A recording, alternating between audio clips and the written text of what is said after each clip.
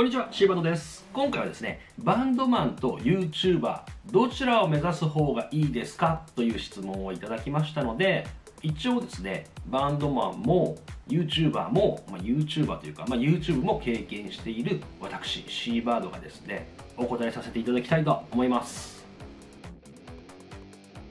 非常に現代的な質問で面白いなというふうに思いました。ま YouTube というですね新しいコンテンツができてギターで食べていく術が増えたというのはめちゃめちゃいいことですよね。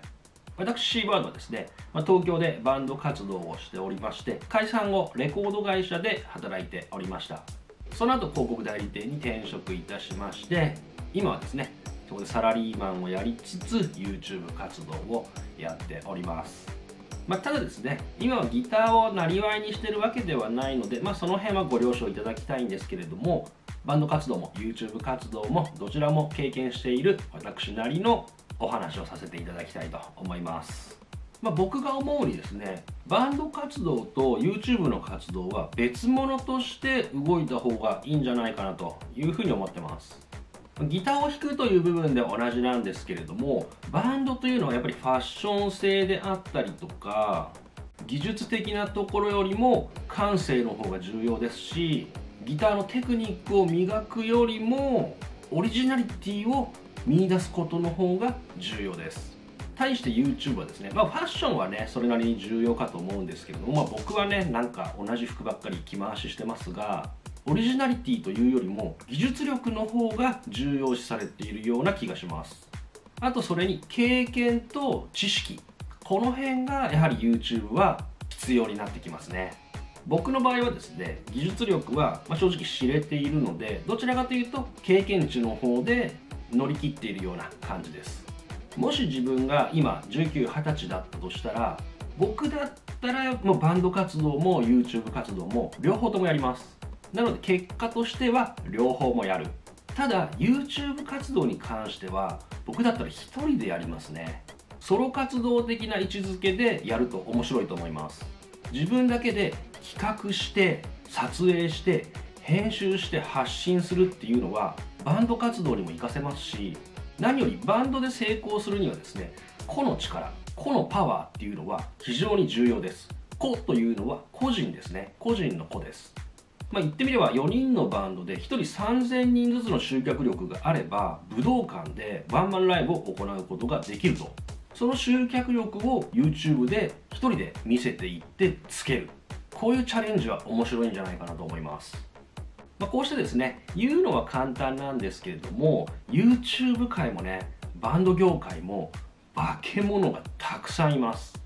もう皆さんもね YouTube ご覧になっていてご存知かと思いますがもう化け物だらけですよ。もうテクニックやら知識やら。実際に現役のプロの方だったりとかあと現役の講師の方とかがですね結構やられているので技術力だけ磨いてもなかなかこう芽が出ないっていう方もたくさんいます。バンド業界も同じでどんなに上手でも見せ方だったり人真似だったらどうしても埋もれてしまいます。やはりオリジナリティが必要。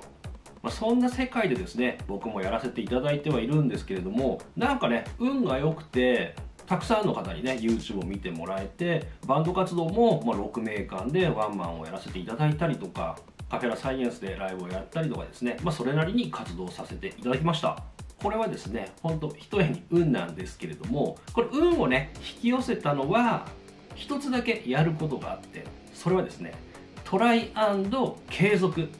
これなんですよね。チャレンジして継続する。これを続けることで化け物揃いの YouTube 界バンド界で少しだけポンと出ることができます。あこれは経験談です。と言ってもね僕ぐらいのレベルだとやっぱちょっとポッと出れるぐらいな感じなんですけれどももっとたくさん練習してもっとたくさん知識を得れればきっと芽が出ると思います。あともう一つですね。得意なことをめちゃめちゃ伸ばす。僕がバンドやってる時代はそれができなくてどうしてもね苦手な部分をどうやって穴埋めしたり改善していくかそこをどうやって練習していくかっていうことを考えてたんですけれども今はもう苦手なものは苦手。得意なものだけズバンと。